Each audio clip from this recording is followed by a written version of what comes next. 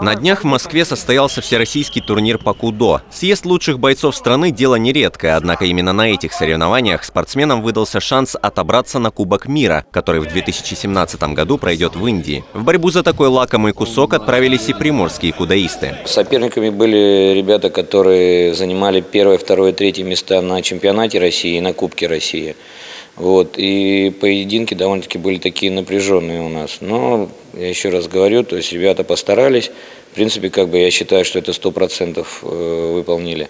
Из пяти, час, э, из пяти человек треть, три отобралось, и двое стали призерами. Этой пятеркой, представляющей Приморский край и Дальний Восток, стали довольно известные владивостокцы Игорь Пермин, Константин Караульных, Гигам Манавазян и Евгений Шаломаев. К ним в команду также присоединился Андрей Гришин из Находки. Он, кстати, в отличие от других, ехал на турнир, как это называется, вслепую. Поездка была вообще внезапная моя туда, э, на этот отбор, так как ну, уже начали сборы, да, подготовка, и только на середине где-то первой недели э, мне ну, сообщили, ну, позвонили да, в находку моему тренеру Резепкину Владимиру Николаевичу и, ну, и спрашивают, как я готов после края, тренируюсь ли я. Начал тренироваться вот только в сентябре, да, и как сказал мой тренер, да, это судьба мне улыбается второй раз, да, отобраться в сборную. Интересно, что в финале Гришину в сопернике попался коллега из Владивостока. Гигам Манавазян поражение принял с достоинством и отметил, что вторым местом на турнире остался вполне доволен. Московские судьи так решили, что нужно будет ехать ему, а не мне. Но ничего страшного. Значит, так ну, дано, что нужно ему поехать.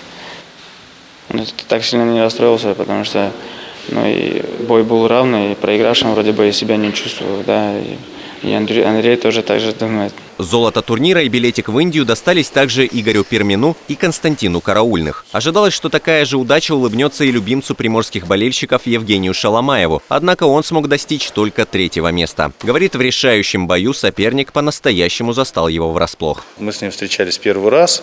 И, ну, скажем так, он меня перехитрил.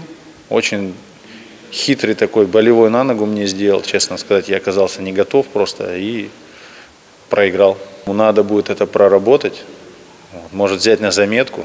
Ну, есть же такое выражение, что противник, он же является учителем для тебя. Те же, кто участвовал во всероссийском турнире, но свою путевку на Кубок мира не получил, автоматически допускаются на чемпионат России. Поэтому времени отдыхать и отмечать новогодние праздники, по словам бойцов, у них сейчас не будет. Максим Яковлев, новости спорта на восьмом.